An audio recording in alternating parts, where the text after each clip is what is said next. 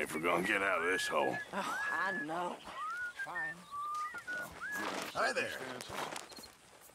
I heard things got nasty on that ferry. You could say so. And that won't lead to more repercussions?